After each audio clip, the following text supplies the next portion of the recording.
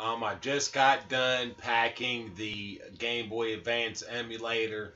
Um, it's about 1600 or so um, original Game Boy games, and the Game Boy Advance and Game Boy Color games are all in the same folder.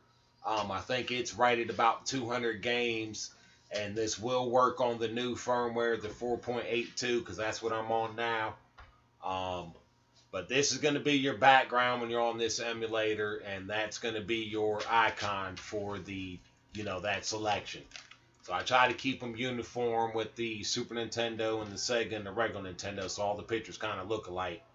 Um, I'll probably do a couple more emulators, uh, Atari, Game Gear, um, and PS1. I'm not sure if I'm going to do any PS2. Um, and if I do the PS1, it probably won't be that many games in the PKG um, when I pack it. But other than that, um, everything will be in the notes for the install directories. All the saves work.